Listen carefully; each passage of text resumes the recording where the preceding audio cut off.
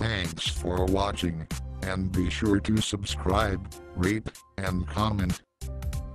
This has been a Best Computer Geek production.